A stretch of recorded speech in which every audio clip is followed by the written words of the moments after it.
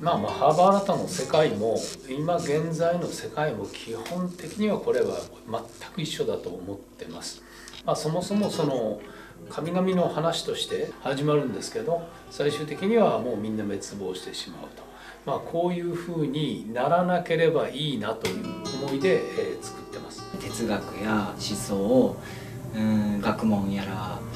精神性やら身体の使い方とか技とか芸能とか医療とかいろんなものがそこから来てるっていうのを僕はこのプロジェクトを通して感じてきているので。Dalam karya Mahabharata ini di, kita bisa memetik tentang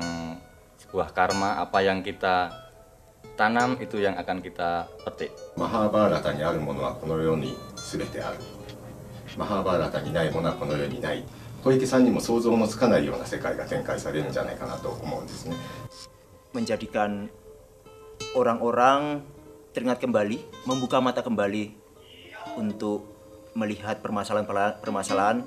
yang ada di sekitar kita. Dan setiap orang itu punya karakter sendiri-sendiri dan sangat berbeda dengan setiap orang satu dengan karakter yang lainnya. Itu sangat berbeda dan itu ada di dunia sekarang. Dan saya, saya kira penonton sekarang wajib untuk melihat karya ini karena itu akan sebagai refleksi untuk melihat kembali kehidupan kita untuk menjadi lebih baik. マハーバーラタってこの神々のお話ではあるんだけどその人間に置き換えていろんなこともこう見えるなと思いながら僕は稽古に励んでます。The what I can think right now, I think the Olympic um, because it's hard work compared to Mahabharata. I mean, this project Mahabharata. Um, if you think about uh, Olympic, people who going to be there, you have to love what you're doing. Even though we are all Asian, and I always love the traditional accent, many different Asian culture. It seems like my dream. I'm very honored to work with all these great artists. Well, this is a big moment for the human being in the world. Perhaps it's like the purpose of how Koike-san, our director, why he want to do Mahabharata, to make us see, to, to review. So many things around us is, is just not the, for granted. 同じところがほとんどないと言っていいぐらい変わってますただ骨格の部分だけは基本的には一緒なので、えそこは同じなんですけどまず音は全然違いますもちろんあの照明も違う、えー、衣装も違う美術も違うまあほとんど変わってますね。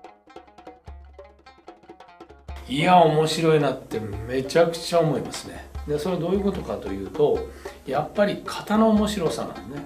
狂言師が言う言葉ってのは普通使われないんだけれどその型によってやっぱおかしく見えてくる。音楽もやる。それから歌も歌う。セリフも言う。もう本当にこのトータル芸術としてのこの小池さんの舞台のもうそういうあらゆる要素をこう全部関わっていくっていうのがそれがどれぐらいできるのかっていうのを、まあ、今回の舞台であの実際に舞台でみんなに見せれたらあのすごい楽しいし同じく小鼓を一発打つだけでね世界観がまるっきり変わっていってしまう。で掛け声と小鼓と、えー、その狂言師の声だったり笑いだったりそういうものでもって世界がですねやっぱりこうどこかしら異世界と結びつくいわゆる能楽っていうのがそうでまさしく死の世界とこっちの世界の一つの橋渡しみたいなものでもあるのでやっぱり非常に面白いですよね。全部違う言葉が一つのリズムになった時に今まで体験してなかったようなそのグルーヴ感みたいなのが生まれる。で小池さんが例えばシーンとシーンの合間にとかセリフとセリフの合間のリズムとかも全部なんか音楽的に僕はこう聞こえてくるので音楽のセッションをやってるような感じで参加させてもらってますね、はい、難しいことを考えずにもう皆様の心の中でハーバーラタの世界観を感じていただければと思います。小池さんすごいなと思うのがなんだろうこう頭の中にねなんかあのこう一流の絵描きと一流の音楽家が同居してるようなもう見えてるんですよね。正解が間とかリズムとかその構図とか。どうしてそういうことが分かるんだろうっていうね。その驚きと戸惑いと、まあ、新鮮さと、まあ、刺激と。Koike sangat uh, nakal bagi kami nakal pemikirannya itu sangat liar sekali. Kami harus dipaksa belajar bahasa dengan yang berbeda dengan bahasa kami lalu dengan bergerak dengan per, uh, gerak dari masing-masing negara itu. Jadi kami sangat saya khususnya saya sangat uh, tertantang saya sangat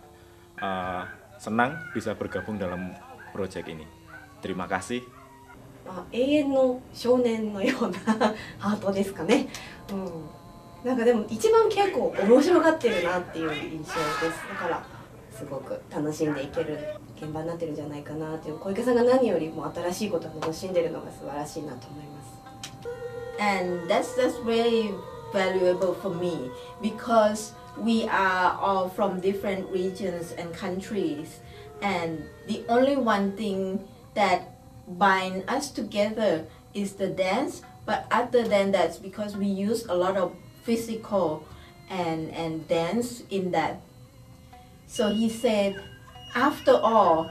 just listen. Listen to people next to you. Listen to what happened. Then you will understand where you will go from that or you will understand how to react with that. So that's not in any school or university that i was taught to listen so from that until now you know this is the third time i joined mahabharata it never changed やっぱりいろんなあハーモニーが奏でられていて多分見たことのない世界になっていると思いますかつ6時間の作品をですねやれるっていうこと？これがもうこのコロナの時代にあって僕たちは一体どういうふうな哲学っていうのを持っていかなきゃいけないか？っていうことを、まあ、一番に考えるべきだと思っていて。そうすると今後の社会の在り方だったり今のこの時代だったりっていうことを考えるとやっぱり一つはあーハーモナイズしていくっていう方向性を持たないと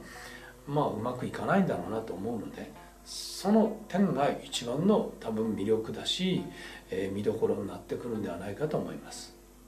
まあ、6時間ですよすごいですよ